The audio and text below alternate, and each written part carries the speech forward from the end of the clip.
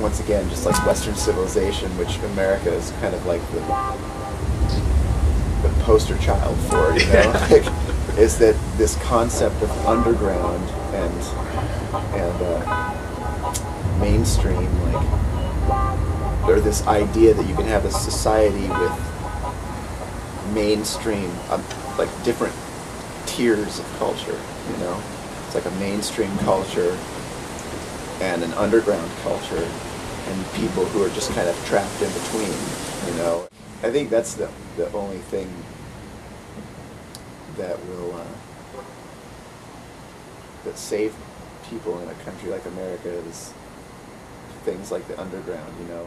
It really is like that fresh that freshness that starts deep in the soil, you know, and like grows up to replace the stuff on the top that's old and crusty.